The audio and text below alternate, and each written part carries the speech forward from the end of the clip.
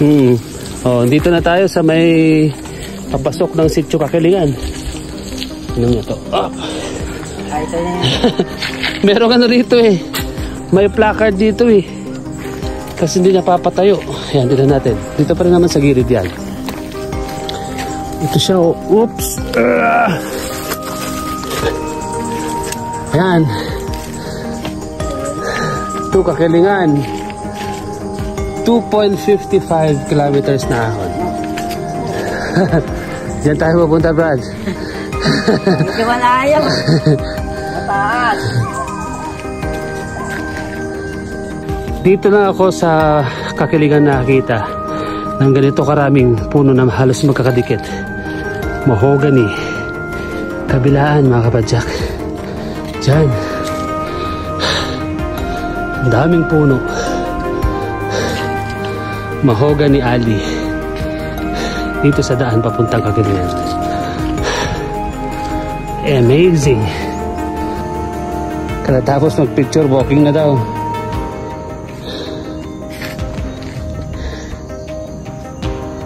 Kakilingan on a Sunday, baby. Somewhere dito sa sentro, sa National Road, merong papasok. May shortcut dito. Ang tawag dito sa lugar na to ay Sitio Batolan. Yan, dyan sa kanan. Dito kayo magsa-shortcut. Niligo kayo rito. Tapos dire-diretso lang. Ito na. Ang ahunan. Uy, medyo madulas ah. Oops. Madulas yung gulong ko.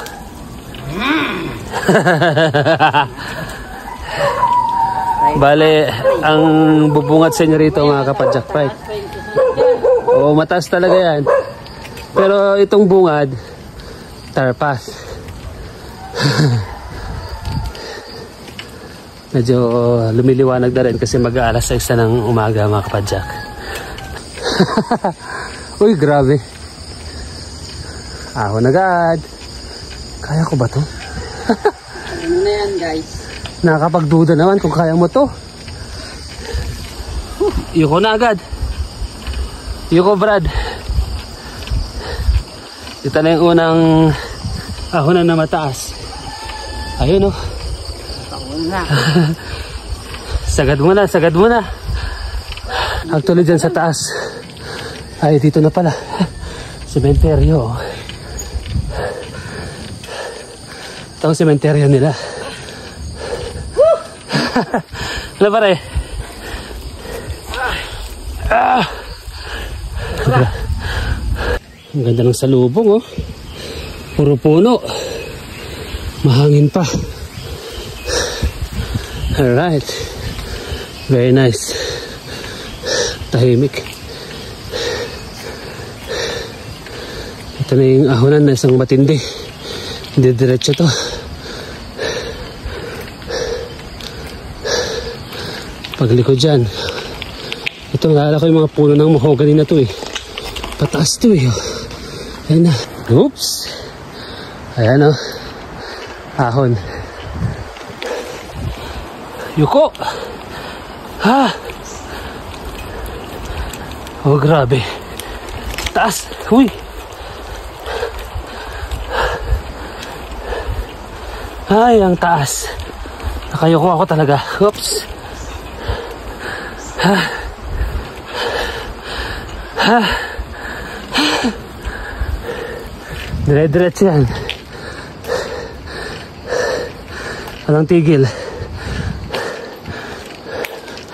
Buti nilagyan na ng ano, simento sa gitna. Dati, ano to eh. Tarpas talaga. Solid.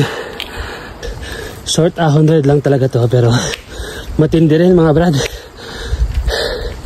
Matarik din. At diretso tuloy-tuloy.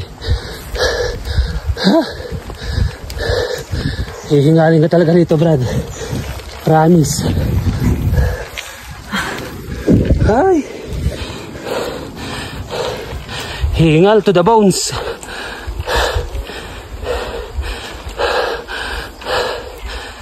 Punong-puno na mga puno.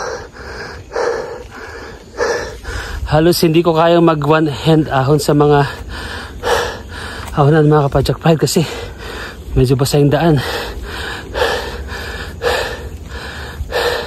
Ayan oh. Sa may daanan tuloy-tuloy yung pag agos ng tubig galing sa bundok yan. Kaya mad- madulas ito kapag pababa. Kailangan magdahan-dahan Ayan, madaming puno dito sa kakilingan sa pagkakalam ko yung kiling isang variety to ng ano eh kawayan. At dyan nang galing yung pangalan ng kakilingan kiling kawayan. Isa na namang matinding ahonan. Oh my goodness. Ayan o kitang kita nyo ang pataas. Oh my gods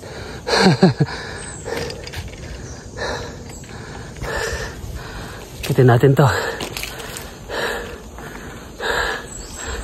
Dahan-dahan. Hay! Iyuko na agad. Huh! Tahi agad. Ah. Taas talaga. Batong kakilingan short ahon. Matarik pala. Talaga. Ang mga ahonan dito.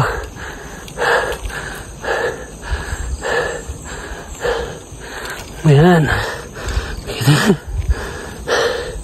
Huh.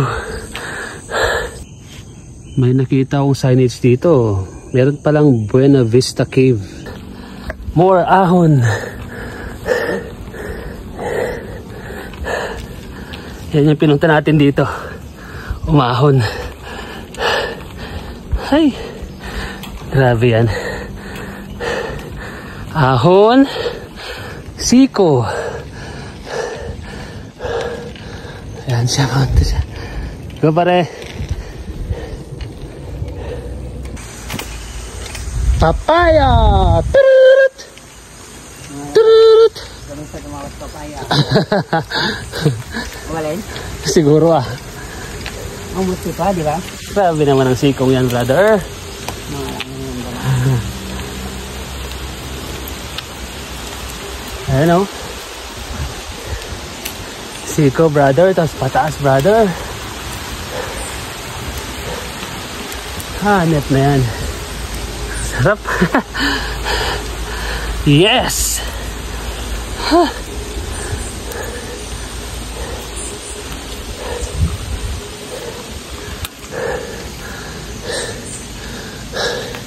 Ka. Ayan na yung placard oh. Matumba. 100 meters away from uh, from here yung destination natin. Kakilingan Elementary School 100 meters away. Dyan may huling ahon pa.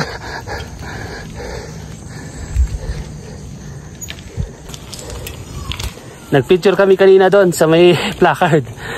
May nabuti na ni pare Erwin na maglakad na. 100 meters na lang naman yan ang ating kakilingan. Padyakan mga kapadyak pride. Maraming salamat. Thank you, thank you palagi sa panonood at pagsuporta. Ingat sa pagpadyak. Magpatian sa daan. Peace brothers and sisters.